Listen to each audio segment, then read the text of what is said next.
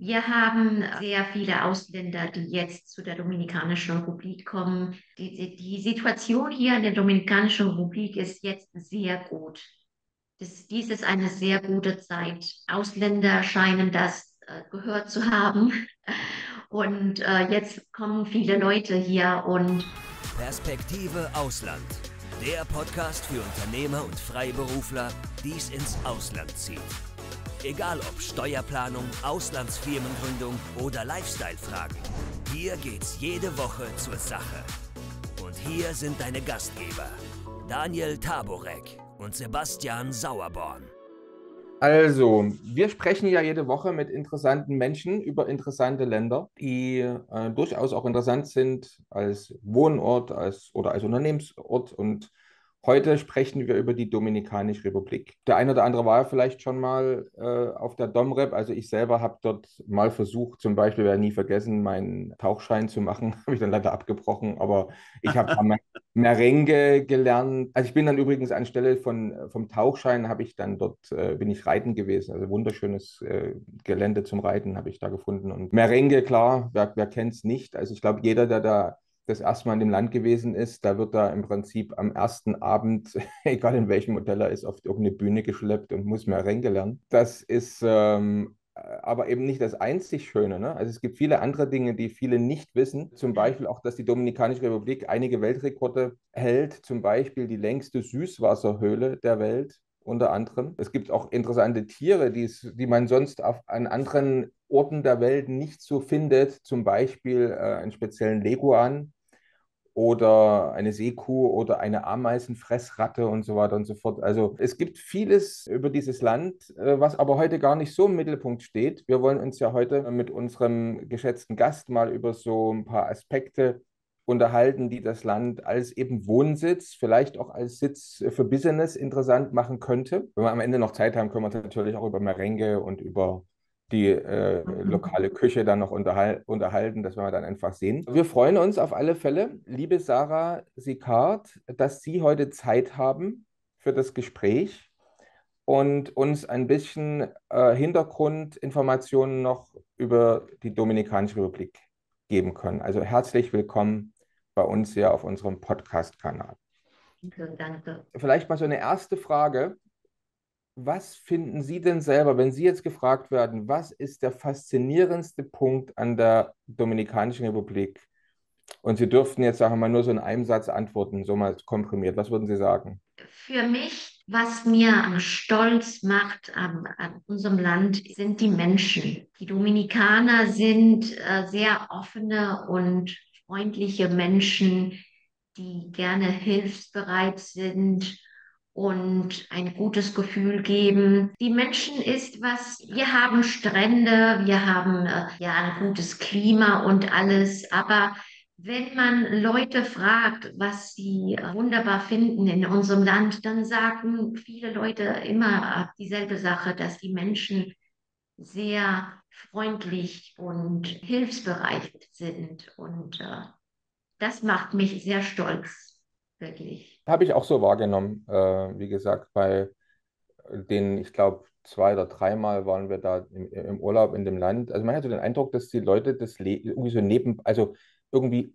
eigentlich selbst die Einheimischen dort, wie als wären sie auch im Urlaub auf der Insel, so habe ich das irgendwie wahrgenommen. Also sie haben so einen lockeren, so einen leichten, immer fröhlichen ja, Lebensstil. Ja. Ne? Das hat äh, ja. auch. Sebastian, wie ist denn das bei dir? Dominikanische Republik. Also A, würde uns mal interessieren, warst du schon mal da? Und B, hast du eigentlich öfters mal so von Mandanten Nachfragen zur Dominikanischen Republik bekommen in letzter Zeit? Also ich war leider noch nicht da, aber was ja noch, was ja nicht ist, kann ja noch werden, wie man so schön sagt. Und absolut, äh, natürlich haben wir immer wieder Mandanten in regelmäßigen Abständen, die sich für die Dominikanische Republik interessieren. Sie ist ja sowieso generell, kann man sagen, im deutschsprachigen Raum sehr beliebt, äh, auch vor allen Dingen als Feriendomizil. Auch viele haben Ferienhäuser da, viele überlegen sich dort den Ruhestand zu verbringen. Also absolut, die Dominikanische Republik ist sicher ähm, für viele, die dort, sag ich mal, in die Karibik ziehen wollen, eine sehr beliebte Insel, sicher ein Favorit. Ja, Absolut. Als Auswanderungsziel, das ist das, was der Sebastian ja gerade auch erwähnt hat, dass einige das so ins Auge fassen. Frau Sikard, was sind denn Ihrer Meinung nach für jetzt Auswanderer, also für jemanden, der aus Deutschland, Österreich, Schweiz mhm. auf der Suche mhm. nach einem neuen Wohnsitz ist,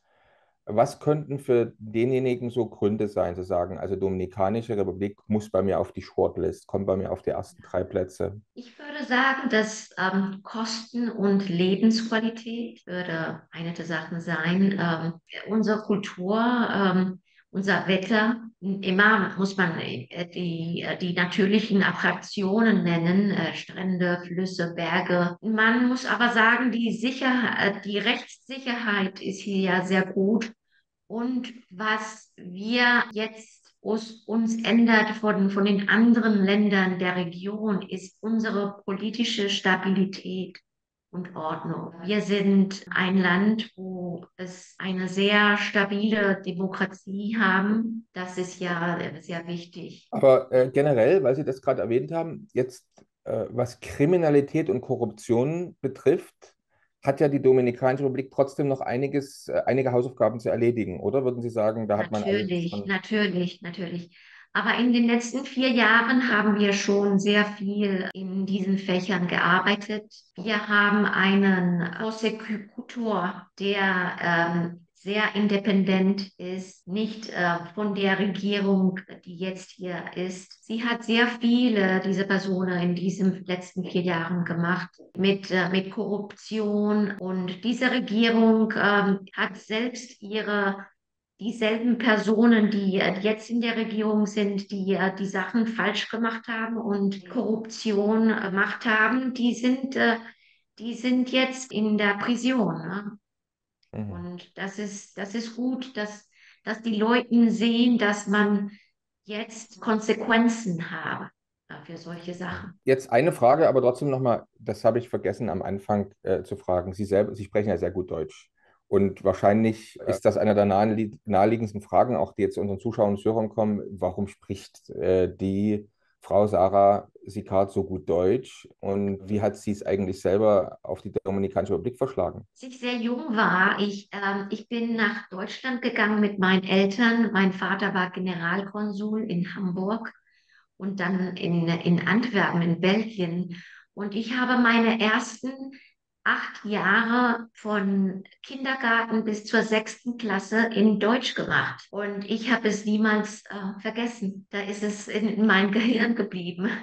Jetzt arbeite ich auch für die deutsche Botschaft. Und, und ich habe auch Kunde, die von Deutschland kommen. Und dann äh, kann ich immer mein Deutsch praktisieren. Ne? Okay, klasse. Wir sollten vielleicht nochmal hier für ähm, die jetzt in, in Geografie und Geschichte weniger bewandten Zuschauer und Zuhörer nochmal kurz hier äh, helfen, ein bisschen die Dominikanische Republik einzuordnen. Also die, sie befindet sich ja, die Dominikanische Republik, auf der Insel Hispaniola. Und das mhm. war ja eigentlich die erste Insel, die äh, Kolumbus entdeckt hat. Also wenn man sagt, Kolumbus hat 1492 Amerika entdeckt, dann muss man sagen, er ist eigentlich auf Hispaniola gelandet, also hat Hispaniola entdeckt. Auf Hispaniola gibt es ja heute zwei Staaten. Es gibt im Westen Haiti und im Osten die Dominikanische Republik. Ungefähr auf der ganzen Insel, also Tahiti und Dominikanische Republik, ungefähr 23 Millionen Menschen, wobei 12 Millionen in der Dominikanischen Republik. Und ich glaube, die Dominikanische Republik ist ungefähr so groß wie die Schweiz, oder? Habe ich das gut auswendig gelernt? Ja, ungefähr. Ähm, ich denke 44.000 Quadratkilometer. Ja, ich habe es mir angeschaut, ungefähr ein bisschen größer als die Schweiz, aber so ungefähr die gleiche Größe. Ja, also sehr interessante Geschichte. Sehr natürlich wunderschön, äh, wunderschön dort gelegen. Ja, sehr viele, sehr viele interessante ähm, äh, Aspekte. Jetzt ähm, Deutsche, die jetzt, äh, die jetzt zu Ihnen kommen, also Ihre deutschen Mandanten zum Beispiel, was sind das so für, was sind das so für, sage ich mal, Personen, hauptsächlich jetzt äh, welche, die gerne sich dort äh, niederlassen wollen oder die dort jetzt ähm, vielleicht Immobilien kaufen wollen oder Unternehmen gründen wollen? Wer, wer kommt so zu Ihnen? Am meisten sind es Leute, die äh, hier ähm, Immobilien verkaufen wollen oder für Geschäftschancen ähm, dann haben wir auch Kunden, die mit Tourismus zu tun haben. Das ist am meisten. Macht Sinn. Interessant, ja. Mhm. Äh, früher hat ja, hat ja äh, die Dominikanische Republik hat ja auch im Bergbau eine relativ lange äh, Tradition, beziehungsweise man hat auch viele, viele äh, Bodenschätze, die man da aus dem, aus dem Land holt. Ich weiß gar nicht, ob das heute überhaupt noch eine große Rolle spielt, aber ich glaube, da hat Dominikanien einiges zu bieten. Ich glaube sogar auch Gold und, äh, und, und andere Dinge. Ich weiß nicht, spielt das heute auch noch eine Rolle bei, äh, bei Unter Unternehmen? Ja, ähm, ja, wir haben noch Gold, aber ähm, äh, äh, und es spielt eine sehr ähm, wichtige Rolle in, in unserer Ökonomie. Aber die, die Dominikanische Republik ist nicht äh, für ihren Gold bekannt. Ne? Am meisten haben wir äh, Tourismus. Ne? Und, und Kaffee ist eigentlich auch eine Sache, die. Und Kaffee, äh, ja, natürlich. Äh, da habe ich damals wirklich gestaunt, weil ähm, als wir da auf der Insel waren, äh, bekommt man das dort natürlich dann auch ganz anders mit. Während jetzt bei uns, ich sage mal, im Supermarkt habe ich noch nie dominikanischen Kaffee gesehen. Das gibt es dann eher in speziellen Kaffeeläden, aber der äh, dominikanische Kaffee äh, so wie ich in Erinnerung habe, ist halt ein, ein schöner milder Kaffee. Ne? Also es ist nicht so grandig oder mhm. äh, hat keine hohe Säure. Also es ist eine, ist eine gute Kaffeemarke. Schade, gibt es mhm. ihn bei uns relativ selten. Aber wenn Sie jetzt mal Kaffee trinken, trinken Sie dann dominikanischen Kaffee oder kaufen Sie dann... Dominikanisches Kaffee. Kaffee. Ja, okay. Ja, wir ja. haben auch Schokolade. Wir produzieren Schokolade und mm, Kakao auch. Ja. Seit, äh, äh, wir exportieren zu Lind. In die Schweiz. Naja, ja. interessant. In der Schweiz, da hatten, wir, ja. da hatten wir doch vor kurzem auch jemanden, Sebastian, aber mir fällt gar nicht wer, äh, auf, wer es ist, der sagt, unser Kolumbien, Kakao, Kolumbien. Kolumbien war das, ja, genau. Ne, genau. Wir, die, es hat doch irgendeiner gesagt, Kolumbien, schade, sie sind nicht so clever, sie machen nicht selber die Schokolade, sie verkaufen den Kaffee, den Kakao in die Schweiz, die dann reich damit werden. Naja, das ist oftmals. Ja, genau. genau. Ähm, ja, und was um es einfach nochmal zu, zu betonen, was ich jetzt sehr, sehr spannend finde, gerade für jemanden, der auswandern möchte in die Dominikanische Republik, das Wetter, ich glaube, Sie mögen mich korrigieren, aber wenn ich da so Januar bis Dezember mir ja, die Wetterdaten anschaue, dann ist da, sagen wir mal so, von der Höchsttemperatur ein, zwei Grad Unterschied. Ne? Also man hat jetzt keine riesengroßen Schwankungen, sondern das ganze Jahr ist äh, das Wetter gleich. Das Einzige, das hat uns auch ganz schön erwischt einmal, weil da haben wir überhaupt nie gedacht, äh, damals so jung und naiv sozusagen, wo wir das erste oder zweite Mal da hingefahren sind, ist halt, es gibt schon eine heftige Regenzeit, ne, wo man einfach sagen kann, da, es gibt da irgendwie so ein, zwei Monate, da regnet es fast jeden zweiten Tag, wenn es reicht. Ne? Mai und Juni äh, mhm. regnet es sehr viel. Naja. Ja, aber, ja, aber das ist, halt... ist, es regnet für ein, zwei Stunden, dann geht es weg. Genau, ja. Es kann aber auch zwei, drei Stunden später nochmal für ein, zwei Stunden regnen. Ja. Sowas, wo, wo wir da gewesen sind. Und, äh, aber das Schöne ist, unabhängig davon, äh, also auch bei Regen, äh, das Wasser ist ja trotzdem schön warm und man kann es trotzdem genießen. Also es hat schon eine gewisse Romantik. Okay, wahrscheinlich, wenn jetzt jemand lokales Business machen wollte, haben wir also gesehen, Tourismus wahrscheinlich das, das Wahrscheinlichste, das Einzige, wenn man lokal da äh, vor Ort was machen will. Ansonsten haben wir ja auch viele Mandanten, da müssen wir nachher noch drüber sprechen, die zwar einen neuen Wohnsitz suchen, also gerne irgendwo umziehen, aber eben dann von dort aus im Ausland tätig sind, eben das Land als Wohnsitz benutzen. Aber bevor wir dann ins Detail gehen, sollten wir jetzt das ganze Thema Visa und Aufenthaltsgenehmigung uns mal anschauen, weil das ist ja immer der erste Schritt sozusagen, Länder auf die Shortlist zu setzen. Also wie einfach oder schwer ist es denn, wenn ich jetzt länger als nur so einen typischen Touristenaufenthalt verbringen will auf der Insel? Wie einfach oder schwer ist es für mich denn ein Visum zu bekommen, also einen längerfristigen Aufenthalt, sagen wir mal mindestens von Jahr? Wir haben drei ähm, Arten von äh, Visa und, und Residenz. Man hat hier die Arbeitsvisa äh, und Residenz und dann haben wir auch äh, die Rentnerresidenz oder Investitionsresidenz. Alle drei Residenz werden ja ungefähr dieselbe Zeit dauern, aber für die haben verschiedene Sachen, die man machen muss. Ne? Für eine Arbeitsvisa und Residenz muss man ja einen Arbeitsvertrag haben äh, mit einem Unternehmen hier in der Dominikanischen Republik. Dieses Vertrag muss zu den ähm, Arbeitsminister in den Arbeitsministerium äh, autorisiert werden bevor diese Person hier arbeiten kann. Wir haben ja auch äh, für Personen, die nicht hier arbeiten, in einem ähm, äh, lokalen Unternehmen arbeiten werden, haben wir aber auch die Rentnervisa und die Investitionsvisa. Die einfachste würde die Rentnervisa sein. Die Rentnervisa ist für Leute, die einen Einkommen von mindestens 2000 Dollar haben. Man muss dann äh, zeigen, dass man ein Einkommen hat für mindestens äh, 2000 Dollar äh, äh, monatlich. Für einen Investitionsvisa muss man zeigen, dass man eine Investition hier in der Dominikanischen Republik für mindestens 200.000 Dollar gemacht hat oder dass man äh, einen Finanzinstrument oder in einem dominikanischen Unternehmen eine Investition für 200.000 Dollar gemacht hat oder das, das heißt, das könnte auch eine Immobilie dann sein, die ich lokal kaufe. Das ja? könnte ja auch eine Immobilie sein, ja natürlich. Ja. Mit der Investition Visa müsste man diese Investition bei äh, der Dominikanischen Investitionszentrum registrieren. Das äh, einfachste würde eine Rentnervisa sein. Das würde ich empfehlen. Ab welchem Alter kann man denn das beantragen? Nein, man, äh, da, da, gibt es keine äh, äh, Restriktion mit Alter. Also, Nur, äh, man muss nur zeigen, dass man eine, ein Ankommen von mindestens 2000 US-Dollar hat. Also kann jetzt zum Beispiel jemand, der 35 Jahre ist, sag, sagen, ja. ich möchte. Aha, dann interessant. Natürlich, ja. Genau. Also, das, ist, das ist kein Problem. Ich habe gehört, dass bei der Variante, die Sie genannt haben, mit dem Investment äh, in Höhe von 200.000 äh, US-Dollar, kann man doch dann auch sehr schnell, wenn man möchte, die Staatsbürgerschaft erhalten von der Dominikanischen Republik. Stimmt es? Ja, das, äh, das würde schneller sein.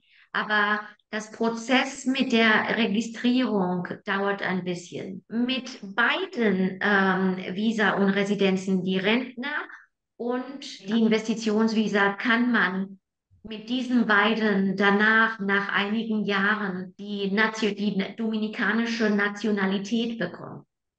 Mit der Arbeitsvisa geht das nicht, aber mit diesen zwei kann man das machen. Aber war es nicht mal so, dass es bei der Möglichkeit mit der Immobilie oder der Investition unheimlich schnell ging? Also sowas wie ein Jahr oder weniger als ein Jahr sogar? Ja, das ist wahr. Das ist wahr. Mit, mit dieser Visa ist es ist die, die Nationalität geht schneller. Genau. Also ich hatte gelesen, also sehr, sehr schnell. Also wie gesagt, wenn man möchte, geht es, glaube ich, sogar sechs Monate nur. Vielleicht sollte ich jetzt kurz hier einwerfen, also der der Pass, also viele, viele unserer Mandanten, muss ich sagen, sind interessiert heutzutage auch an verschiedenen Staatsbürgerschaften. Ja, ich meine, es gibt ja die bekannten Citizenship by Investment Programme, die natürlich so, ähm, also Antigua und Barbuda, Kitts and Nevis, St. Lucia und diese ganzen, ähm, aber mhm. eben auch an mhm. alternativen Modellen.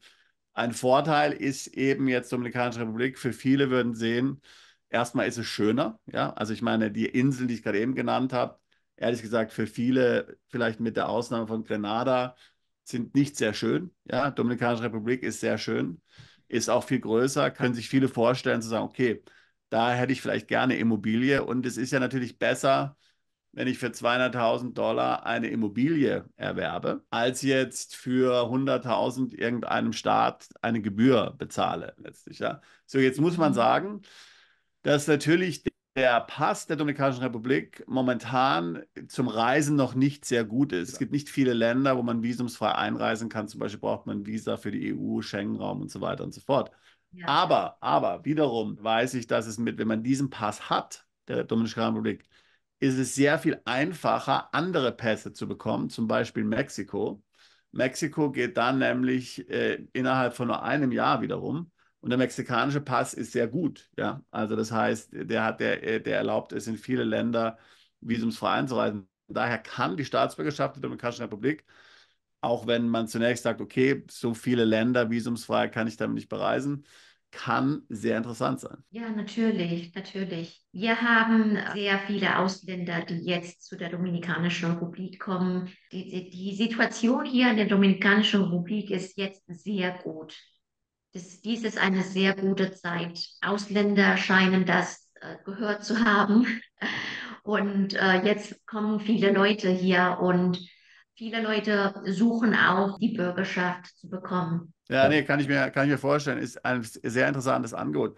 Eine Sache, die mich mal interessieren würde, ist, die Situation in der Dominikanischen Republik ist ja sehr, sehr viel besser als im Nachbarstaat Haiti, wo ja sehr historisch auch gesehen die Lage kompliziert ist und auch schwierig ist. Führt es eigentlich zu Spannungen auf der Insel, so für Sie im Alltagsleben, dass da doch so eine große Ungleichheit ist zwischen den Ländern? Die Situation mit Haiti ist sehr traurig. Ne? Wir äh, in der Dominikanischen Republik, wir sind sehr äh, verschiedene Länder. In äh, Haiti ist es, ihre Geschichte ist, ist es nicht sehr gut gegangen. Ne? Ich weiß nicht, was da geschehen ist, aber wir sind sehr verschiedene Kulturen auch. Ja. Nicht nur, und sie sprechen ähm, Patois oder äh, Französisch da und wir sprechen Spanisch hier, aber unsere Kulturen sind sehr verschieden. Mit der Situation in Haiti jetzt ist, ist unsere Grenze mit Haiti geschlossen.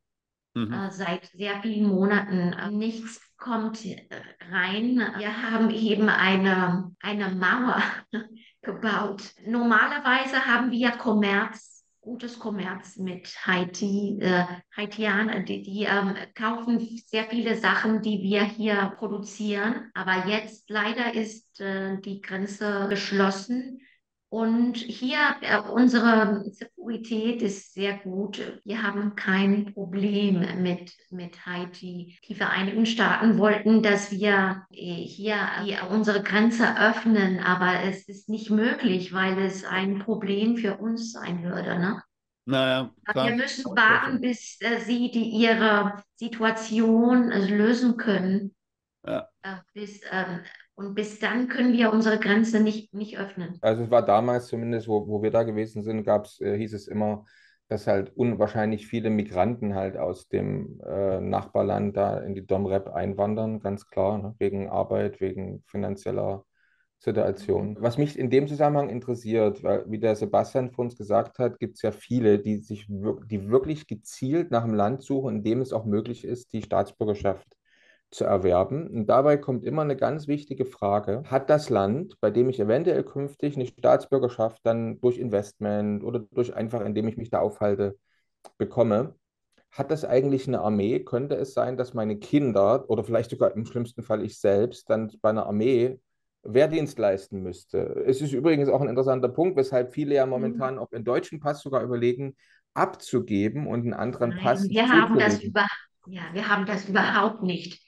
Wir haben das niemals gehabt in unserer Geschichte. Aber Sie haben eine Grenze auf der Insel, deswegen muss man ja fragen, weil ich meine, letztendlich ist es eine Grenze. Die Grenze muss gesichert werden, also muss es ja eine Art Armee geben oder macht das dort die Polizei? Ja, wir haben, wir haben eine Armee, aber die Armee äh, ist freiwillig. Äh, gehst du in, in, die Armee. Es gibt also keine Kons Konskription. Ne? Also es gibt keinen Wehrdienst, den man, kein Pflichtwehrdienst. Kein Wehrdienst, ja. Okay. Kein Wehrdienst. Gut zu wissen. Ja. Ja. Interessant. Armee ist dann meistens zu, ja, für die Sicherheit der Grenze und für die Sicherheit äh, des Landes. Äh, Katastrophenschutz wahrscheinlich. Und so weiter. Ne? Mhm. Ja. Sie sitzen ja jetzt wo genau? In Santo Domingo? Ja, oder? ich bin hier in Santo Domingo, in der Hauptstadt der Dominikanischen Republik. Genau. Ne? Das fiel mir vorhin auch noch äh, ein, als der Sebastian sagte, äh, als das erwähnte, also eben zum Beispiel eben auch eine Investition, zum Beispiel 200.000, eine schöne Immobilie kaufen und dann dadurch auch relativ, sagen wir mal, im Fast Track vielleicht auch noch eine Staatsbürgerschaft zu bekommen. Ich habe gestern mit einem mit einem Mandanten gesprochen, der auch gerade auf der Suche ist nach Wohnsitz, beziehungsweise zweite Staatsbürgerschaft bei Investment und da war auf einer karibischen Insel, Santa Lucia, und er hat gesagt, also äh, niemals würde er dort eine Immobilie kaufen. Er sagt, die sind alles so hässlich, die Insel ist hässlich. Also, er, würde dort, also er möchte dort nichts in, investieren auf dieser Insel. Und das ist natürlich in dieser schönen Stadt Santo Domingo. Wir werden ein paar Bilder dann einblenden im, im Video. Ne? Es ist natürlich eine wunderschöne Stadt. Ne? Also einfach gibt es schöne Möglichkeiten, dort zu investieren, auch äh, einfach ein ein Haus zum Beispiel zu kaufen, auf das man stolz sein kann. Ne? Weil man, weil das zeige ich gerne. Und das ganze Umfeld ist natürlich auch schön. Ja, die Stadt ist sehr, sehr gut. Äh, äh, deutsche Leute, Ausländer in general, wenn sie kommen, mögen sie am besten Dörfer oder äh, Stadt, äh, Städte, äh, die nah, nahe des Strand ist. In Mhm. Santo Domingo sind wir nahe, äh, sind wir am Strand, haben wir das Meer nebenan, aber da gibt es keine, keinen Strand, keinen guten Strand. Hm. Dann ähm, mögen die Leute viel besser zum Beispiel Puerto Plata oder Samana, Las Terrenas oder Punta Cana. Aber Genau. Naja, Ja. das kennen wir auch noch gut. Die Mandanten, die jetzt zu Ihnen kommen, da sagten Sie ja, einige kommen auch schon wegen Business. Und deswegen sollten wir noch mal ganz kurz auch über das Thema sprechen, Firmengründung. Also wenn ich jetzt als Ausländer in die Dominikanische Republik komme, würde jetzt eine Firma gründen und mich bei der Firma selber anstellen, das würde ja, würde das auch eine Möglichkeit äh, bedeuten, jetzt ein Visum zu bekommen oder funktioniert das so nicht? Man braucht kein Visum, um am einen ähm, Unternehmen hier in, in, in der Dominikanischen Republik zu gründen. Wenn man hier nicht lebt, braucht man kein Visum. Ja, ja, aber ich, wir hätten ja gerade davon gesprochen, weil das wäre wär dann noch eine Art Visum, über das wir noch nicht gesprochen hatten. Also wir haben ja gesagt, ich kann ein Rentnervisum nehmen, ich kann das Investmentvisum nehmen oder ich kann angestellt sein. Ja, Äh, aber ich könnte natürlich auch kommen sagen, ich gründe selber eine Firma und stelle mich Ja. bei dieser, bei, bei meiner eigenen selbst gegründeten Firma an. Ist das Ja. auch eine Sache, die einige machen? Funktioniert das? natürlich, natürlich. Mit einem Unternehmen kann man dann ähm, viele Kommerz machen, nicht in einer, persönlicher Weise, aber mit einem Unternehmen. Ne? Das ist immer sehr gut, dass man das, ihre persönliche Finanz von den Unternehmen einen Unterschied hat. Und es ist immer eine gute Idee, ein Unternehmen zu haben, um ähm, ein Geschäft zu öffnen, Ja. damit es nicht persönlicherweise ist, aber mit, mit einem Unternehmen. So, also ich komme jetzt zum Beispiel nach, äh, auf die Dominikanische Republik und würde jetzt zu, zu, zu Ihnen kommen, würde sagen, äh, ich möchte jetzt Sie bitten, unterstützen Sie mich dabei, hier eine Firma zu gründen. Was gibt es da so für, für Unternehmen? Was kostet das, so eine Firmengründung? Wie schnell geht das? Hat man dann auch Probleme dort mit Korruption an dieser Stelle oder läuft das alles digitalisiert? Wie kann man sich das vorstellen? Das Prozess läuft äh, gut. Wir haben hier, man kann, man hat am meistens äh, drei Modelle, ähm, äh, die man hier hat. Man hat die Kapitalgesellschaft, das in Spanisch ist SEA. Das ist für normalerweise für große Investitionen und äh, eine komplexe Unternehmensstruktur. Dann gibt es Simplified Corporations, SAS, mit dem spanischen Akronym. Das sind für großen oder mittleren Investitionen, die sind ein bisschen mehr flexibler als die SA. Und dann haben wir die Gesellschaften mit beschränkter Haftung, das sind die LLCs oder SRL. Das sind äh, für kleine Investimentsgeschäfte oder mittlere Investitionen, wo es nicht äh, Aktionen gibt, aber Partners. Das Prozess ähm, ist, naja, man muss einen Namen wählen und dann äh, diesen Namen registrieren. Und wenn der Aktionär ein ausländisches Unternehmen ist, muss man die Grundstückdokumente in, in Spanisch übersetzen. Für die Gründung muss man eine Steuer von 1% des Gesellschaftskapital bezahlen. Unsere Kanzlei des Anwalts Gebur haben wir eine feste Koste von, äh, normalerweise ist es 1100 US-Dollars, wenn es eine normale ähm, äh, Unternehmung ist. Und äh, das Gründungskapital der Gesellschaft, Haftungskapital, wie viel muss man da einzahlen oder muss man es überhaupt einzahlen? Nein, man braucht das nicht einzuzahlen. Man muss sagen, dass das Geld da sein wird, brauchte man das, äh, aber es muss nicht in einem Konto hereingehen. Ne? Und äh, weil Sie gerade Konto sagen, ist es jetzt schwierig zum Beispiel für mich als Ausländer, wenn ich da einen Wohnsitz habe oder auch ein Unternehmen gegründet habe, zum Beispiel ein Konto zu eröffnen und kann man von dem Konto einer dominikanischen Bank ohne Probleme Geld aus dem Ausland empfangen und auch äh, überweisen oder gibt es da irgendwelche Restriktionen? Es gibt keine Restriktion über Geld, die hier ist, in ein Konto äh, zum Ausland zu überweisen. Überhaupt keine Restriktion.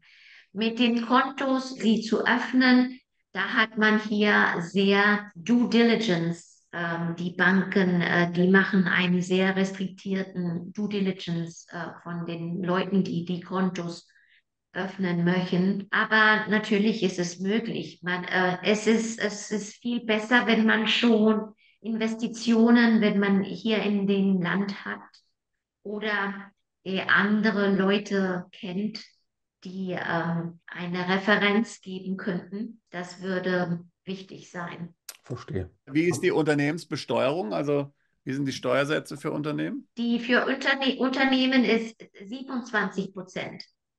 Das Einkommensteuer. Okay. Und wie ist die persönliche, wie liegt die persönliche Einkommensteuer? 25 Prozent. Okay. Äh, ich habe gelesen, dass man, wenn ich jetzt dorthin ziehe, wenn ich dort umziehe in die Dominikanische Republik, in den ersten Jahren zahlt man auf ausländische Einkünfte noch keine Steuer. Ist das, stimmt das? Ja, ja. Die ersten, äh, wenn man hier äh, eine in, in der Dominikanischen Republik wohnhaft ist, wenn man mindestens 182 äh, Tage am Jahr hier bleibt. Es kann alles zusammen oder äh, 182 Tage in äh, verschiedene Male, äh, das, das man in einem Jahr macht. Wenn man dann wohnhaft hier in der Dominikanischen Republik ist, weil man hier so viel Zeit geblieben ist, das Einkommensteuer würde man, man zahlen, aber nur bis zum dritten, äh, ab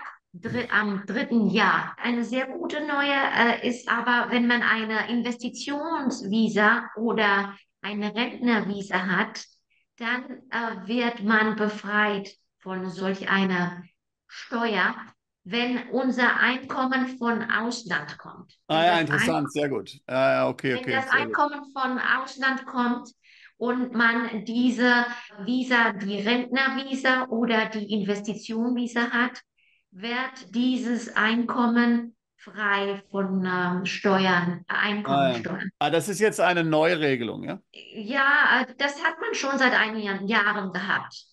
Ah ja, okay, seit einigen Jahren. Okay, sehr gut. Ja. Also das heißt, äh, okay, interessant. Das heißt also, wenn ich dort letztlich lebe mit einem der Aufenthaltsbewilligungen, die Sie jetzt genannt haben, dann ist es tatsächlich so, dass ich letztlich ausländische Einkünfte steuerfrei vereinnahmen kann. Das heißt, die typische, das typische, was es ja in vielen Ländern der Region gibt, dieses Territorialprinzip. Ja. Das heißt, nur Einkünfte, wenn ich zum Beispiel dort eine lokale Tätigkeit hätte oder ein Unternehmen habe, was mir dann Dividenden auszahlt, in der Dominikanischen Republik, dann müsste ich darauf Steuern bezahlen. Mhm. Für, das, das ist gültig für ähm, Einkommen, der vom Ausland kommt. Ja, ist klar, ist klar. Mhm. Ja, aber durchaus für viele interessant. Ne? Also könnte jetzt bei einigen Zuschauern führen, dass sie jetzt in dem Moment die Dominikanische Republik auf ihre Top 3 setzen, oder? Das glaube ich auch, ja. Ja. Hundertprozentig, also, ja. Also gerade die Kombination, wie gesagt, äh, ab 200.000 Euro eine schöne Immobilie zu kaufen, um einen Pass zu bekommen im Fast Track. Dazu noch das Thema keine Steuern auf Auslandseinkommen macht die Dominikanische Republik für, also unsere Mandanten, Sebastian, denke ich, sehr, sehr interessant. Ne? Sehr interessant, ja. Ja. Die, genau, die, äh, die Staatsbürgerschaft jetzt direkt. Also ist das auch eine Sache, die Ihre Kanzlei jetzt mit unterstützt, also so eine Staatsbürgerschaft dann zu beantragen? Oder was sind das so, wo geht man da hin, wenn man sagt, also ich hätte das jetzt gerne, ich habe jetzt hier eine, eine Investition für 200.000 Euro gemacht und äh, beziehungsweise ich habe dieses, mir tut das irgendwie weh, Rentnervisum zu sagen, weil wenn ich mir so vorstelle, ich kenne so, so junge YouTuber, die auf der Dominikanischen Republik wohnen, ich kann mir irgendwie vorstellen, ich kenne da so eine 20-Jährige, dass die ein Rentnervisum hat. Also das müssen wir nochmal noch klären, ob das wirklich Rentnervisum heißt. Aber ja. wie auch immer. Ne? Ich glaube, es liegt am spanischen Begriff. Ich glaube, der spanische Begriff ist Rentista, oder? Rentista, das ist das Wort. Ja. Genau, und ich glaube, das heißt direkt übersetzt Rentner, aber es heißt doch Privatier oder einfach jemand, der ja, ja. vermögend ist oder sowas, ja. Alter hat aber nichts zu tun mit dieser Visa. Man kann äh, Rentista sein, mit 25 Jahren. Also wir nennen es mal Rentista, das klingt einfach schöner, oder? Also, äh, wie auch immer. Also ich denke, das ist sehr interessant. So jetzt der Prozess, kommt man da, machen Sie sowas, unterstützen Sie damit? Oder? Ja, natürlich. Mhm. Wir sind äh, hier eine äh, Kanzlei, die all diese Sachen macht. Wir arbeiten sehr viel mit Ausländern, die hier arbeiten oder ein Geschäft machen wollen oder hier nur leben wollen. Ne? Und dann helfen wir sie ihnen in, in dem den ganzen Prozess. Danach äh, erst fangen wir an mit, mit der Visa und danach können wir die, den, die Bürgerschaft, äh, den Prozess mit der Bürgerschaft auch machen. Klingt interessant. Sehr schön. Ja, jetzt müssen wir mal schnell gucken. Äh, jetzt käme bei mir noch eine Frage. Wir hatten also auf der einen Seite darüber gesprochen, man kann sich schon schöne Immobilien kaufen, aber generell ist denn, ist denn überhaupt eine Auswahl da? Ist jetzt eher ein Überangebot oder ist es eher schwierig, eine Immobilie zu kaufen oder auch ein Mietobjekt zu finden, wenn jemand äh, wir, raten das für unsere Mandanten auch immer, bevor man jetzt was kauft, ist es immer besser, wenn er im neuen Wohnsitz vielleicht erstmal ein paar Monate, vielleicht sogar ein Jahr zur Miete gewohnt hat, um wirklich zu sehen, wo gefällt es mir hier, wo ist eine schöne Gegend. Ist das schwierig, eine, ein Mietobjekt zu finden zum vernünftigen Preis? Wie kann man sich das vorstellen? Wie teuer ist das, so eine, Wohnung oder ein kleines Haus zu mieten? Ich habe mir ausgesehen, äh, die Lebenshaltskosten in, in der Dominikanischen Republik, äh, vergleichen das mit Deutschland, das habe ich das gesucht in Fällen wurde angegeben, dass äh, die Lebenshaltskosten hier deutlich weniger sind als in Deutschland zum Beispiel. Äh, die Mieten und alle sind äh, viel weniger hier. Es müsste aber auch darauf abhängen, wo Sie in Deutschland oder in der Dominikanischen Republik leben wollen. Ne? Aber normalerweise kostet es weniger hier in der Dominikanischen Republik wenn man hier einen äh, Immobilien kaufen will, das, das Beste würde man, äh, würde ich empfehlen, es erst äh, äh hier zu kommen um, und zu sehen, was alles ist. Wir haben Immobilienfirmas, die mit, äh, die, die helfen suchen, ähm, einen guten Immobilien zu, äh, zu. Das würde ich empfehlen, einer Immobilienfirma zu zu bekommen, die, die man hilft. Und weil sie diese Firma auch die äh, Due Diligence machen. Wir helfen da ja auch. Unsere Kanzlei dann macht die Arbeit, um die, ähm, die Immobilien zu, zu sehen mit der Regierung, ob es äh, eh korrekt registriert ist, ob es keine Probleme hat und so weiter. Das, das machen wir auch für unsere Kunden. Okay.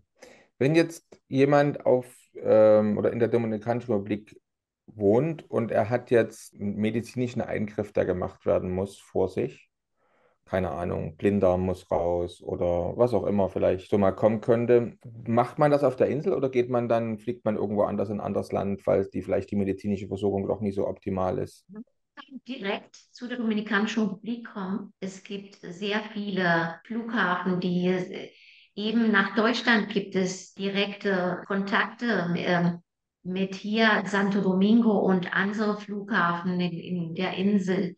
Es ist sehr einfach, zu der Dominikanischen Republik zu kommen. Nein, nein, ich meinte, wenn ich jetzt krank bin, ich, ich muss ins Krankenhaus. Also jemand, ah, der jetzt auf der Insel wohnt. Ah, es, es, es, ah. es, ging darum, wenn, die, wenn ein medizinischer Eingriff vor mir liegt, ja. Äh, wie gut ist denn das Gesundheitssystem auf der Insel, die Krankenhäuser, die Ärzte? Also ist, man, ist alles in einem hohen Standard auf der Insel? Oder würde man okay. als jemand, als Ausländer, der auf der Insel wohnt, dann lieber sagen, ich fliege da entweder wieder nach Hause oder woanders hin, in die U na, USA, würde okay. auch ausscheiden, ausscheiden, ist viel zu teuer, mhm. aber mhm. was, was würde ja. man dann machen? Wenn Sie eine gute Versorgung wünschen, äh, müssen, muss man zu einem privaten Krankenhaus hier in der Dominikanischen Republik gehen. Hier haben wir an Orten zum Beispiel, äh, die von Touristen und Expats frequentiert werden, gibt es Privatkliniken mit Standardpatientenversorgung und Intensivstationen und Operationszellen das Personal dieser Krankenhäuser kommunizieren auf Englisch sehr gut. Unsere Privatkrankenhäuser normalerweise sind, sind gut. Okay. Ja, gut. Mhm. In den letzten Jahren haben wir ein Notrufsystem, äh, das 911 eingeführt. Das ist sehr gut. Diese Notdienste sind in Santo Domingo und äh, in anderen Plätzen von der Dominikanischen Republik. Puerto, Pia, Puerto Plata, Santiago. Das funktioniert sehr gut. Das, okay. äh, dieses Notrufsystem. In der Dominikanischen Republik gibt es ja auch sehr viele Apotheken, wo man äh, alle ähm, Sorten von äh, Medikamenten äh, kaufen kann. Man muss ja bevor zu einem Arzt gehen, damit er es etwas schreibt. Mhm.